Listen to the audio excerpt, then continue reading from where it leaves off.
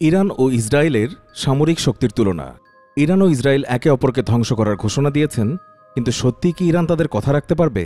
এর আগে আফগানিস্তান এবং ইরাক যুদ্ধের সময় সাদ্দাম হোসেন এবং ওসামা বিন লাদেন মার্কিনীদেরকে ধ্বংস করে দেওয়ার কথা বলেছিল।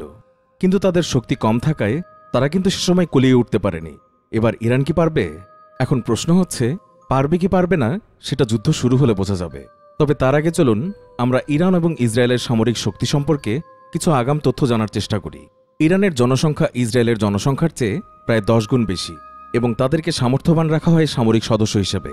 ইরানের দুর্বলতা হচ্ছে এই, তাদের এমন অনেক যুদ্ধাস্ত্র রয়েছে যা ইসরায়েলের চেয়ে অনেক সেকেলে, যা প্রায় উনিশশো উনআশি সালের দিকের। কিন্তু ইসরায়েলের যুদ্ধাস্ত্রগুলো অনেক আধুনিক এবং নতুন।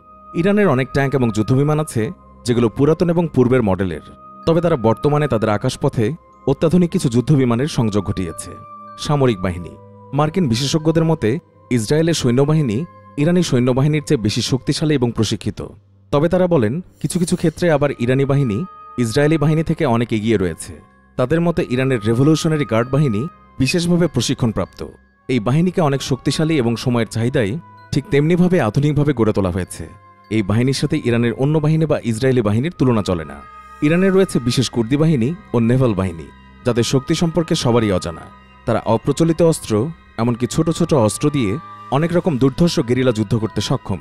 যুদ্ধ বিশেষজ্ঞরা বলছেন ইরান ইসরায়েল যুদ্ধ শুরু হলে দুপক্ষের সৈন্যবাহিনী খুবই দ্রুত সম্মুখ সমর করবে না, কারণ তাদের দুই দেশের আছে দূরপাল্লার যুদ্ধবিমান, যুদ্ধাস্ত্র, নৌবাহিনীর ছোট ছোট যুদ্ধবিমান এবং শক্তিশালী সব ব্যালিস্টিক ক্ষেপণাস্ত্র।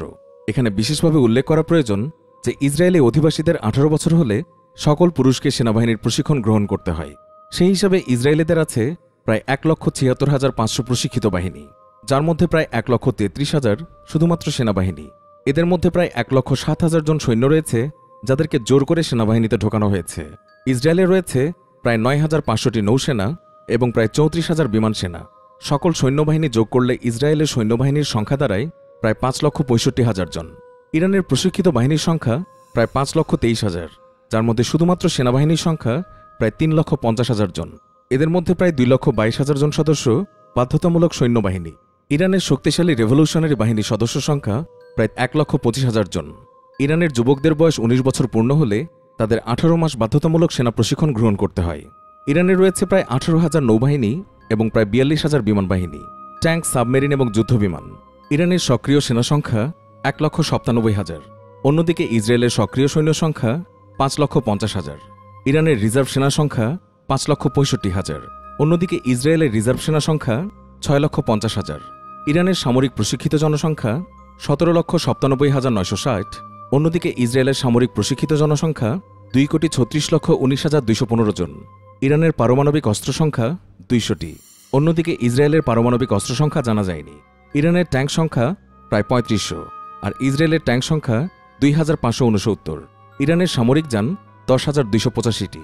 অন্যদিকে ইসরায়েলের সামরিক যান বারো হাজার চারশো পনেরোটি। ইরানের আর্টিলারি সংখ্যা পনেরোশো বাইশ। অন্যদিকে ইসরায়েলের আর্টিলারি সংখ্যা পাঁচ হাজার তিনশো তিরাশি। ইরানের সেলফ প্রোপেলড আর্টিলারি সংখ্যা ছয়শো পঞ্চাশ। অন্যদিকে ইসরায়েলের সেলফ প্রোপেলড আর্টিলারি সংখ্যা তিনশো বিশ। ইরানের রকেট আর্টিলারির সংখ্যা আটচল্লিশ। অন্যদিকে ইসরায়েলের রকেট আর্টিলারির সংখ্যা চোদ্দশো তিরানব্বই। ইরানের সামরিক যুদ্ধবিমান সংখ্যা সাতশো বাহাত্তর। অন্যদিকে ইসরায়েলের সামরিক বিমান সংখ্যা আটশো তিরাশিটি। ইরানের যুদ্ধবিমান সংখ্যা চারশো ষাটটি। অন্যদিকে ইসরায়েলের যুদ্ধবিমান সংখ্যা তিনশো ছত্রিশটি। ইরানের অ্যাটাক বিমান সংখ্যা দুইশো পঁয়তাল্লিশ। অন্যদিকে ইসরায়েলের অ্যাটাক বিমান সংখ্যা একশো পঁয়তাল্লিশ। ইরানের হেলিকপ্টার সংখ্যা একশো সাতাত্তর। অন্যদিকে ইসরায়েলের হেলিকপ্টার সংখ্যা তিনশো চব্বিশ। ইরানের মেরিন জাহাজ সংখ্যা চুয়াত্তরটি। অন্যদিকে ইসরায়েলের মেরিন জাহাজ সংখ্যা চারশো ছয়টি। ইরানের হাতে সাবমেরিন রয়েছে পাঁচটি। অন্যদিকে ইসরায়েলের রয়েছে চল্লিশটি সাবমেরিন। ইরানের হস্তচালিত কামান সংখ্যা চারশো ছাপ্পান্নটি। অন্যদিকে ইসরায়েলের হস্তচালিত কামান সংখ্যা দুই হাজার দশটি। ইরানের হাতে স্বয়ংক্রিয় কামান রয়েছে ছয়শো বিশটি। অন্যদিকে ইসরায়েলের স্বয়ংক্রিয় কামান রয়েছে আটশো পঁয়ষট্টিটি। বিশেষজ্ঞদের মতে, ইরান এবং ইসরায়েলের প্রকৃত যুদ্ধ সরঞ্জামের বিবরণ এগুলো কিন্তু নয়। কারণ, তারা তাদের সামরিক শক্তিকে বাইরের বিশ্বের কাছে তেমনভাবে কখনোই প্রকাশ করে না। দুই হাজার নয় সালের দিকে প্রাপ্ত ইরানের সামরিক শক্তিকে এখানে বর্ণনা করা হয়েছে। দুই হাজার দশ সালের পর ইরান এবং ইসরায়েল উভয়ই অনেক মারাত্মক সব অস্ত্র নির্মাণ এবং ক্রয় করেছে। ইরান সম্প্রতি ড্রোন বিমান তৈরি করেছে, যে বিমান নিঃশব্দ পাখির মতো এসে ইসরায়েলকে তামাতামা করে দিতে সক্ষম। ইরান নতুন নতুন যুদ্ধ জাহাজের প্রবেশ ঘটিয়েছে, যা সমুদ্রে ইরানের আধিপত্য প্রতিষ্ঠা করেছে। ইরানের নতুন যোগাযোগ ব্যবস্থা, ভিন্ন ইন্টারনেট ব্যবস্থা, শক্তিশালী রাডার ব্যবস্থা, অত্যাধুনিক স্যাটেলাইট ব্যবস্থা সম্পর্কে বাইরের বিশ্বের কোনো ধারণা নেই।